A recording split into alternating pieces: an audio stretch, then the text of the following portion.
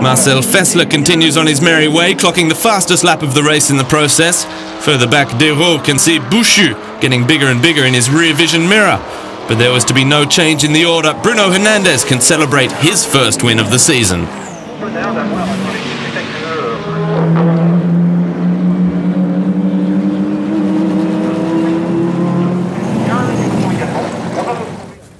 Bravo Marcel